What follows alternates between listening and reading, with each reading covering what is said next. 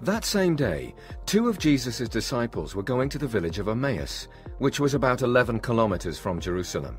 As they were talking and thinking about what had happened, Jesus came near and started walking along beside them. but they did not know who he was. Jesus asked them, What were you talking about as you walked along? The two of them stood there, looking sad and gloomy. Then the one named Cleopas asked Jesus, Are you the only person from Jerusalem who didn't know what was happening there these last few days?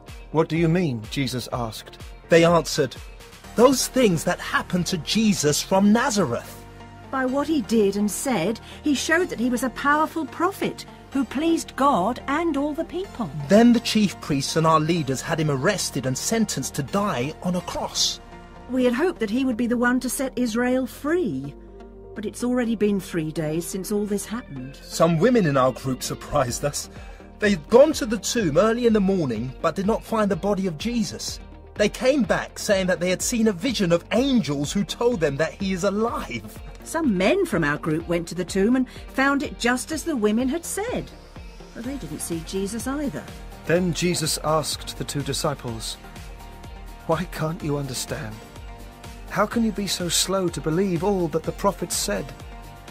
Didn't you know that the Messiah would have to suffer before he was given his glory? Jesus then explained everything written about himself in the scriptures. Beginning with the law of Moses and the books of the prophets. When the two of them came near the village where they were going, Jesus seemed to be going further. They begged him, Stay with us. It's already late and the sun is going down.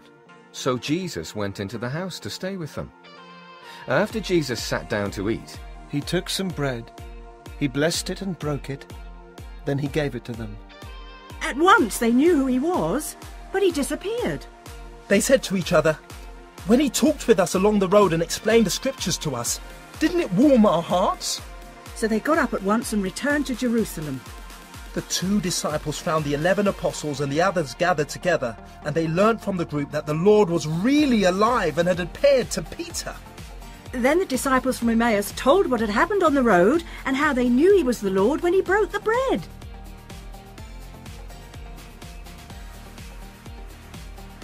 The disciples on the road to Emmaus did not recognize Jesus at first.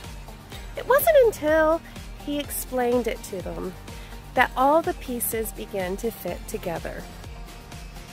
Challenging things are happening in our world, and we don't always understand why. But we need to trust that God is at work and that He has a plan for everything. Please pray. Dear God, thank you that we can celebrate Jesus. Thank you for all he did for us and all that he continues to do. Help us to trust in you even when we don't understand what is happening. We know you work things for good. Thank you for your love. We love you, God. In Jesus' name, amen.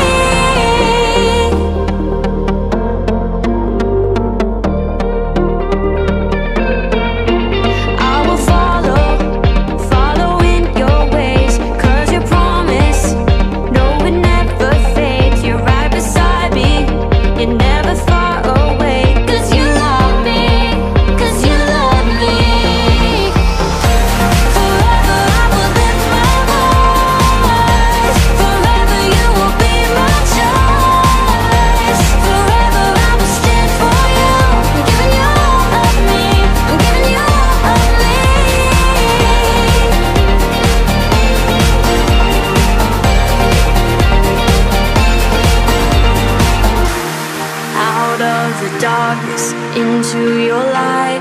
My heart surrenders to your design.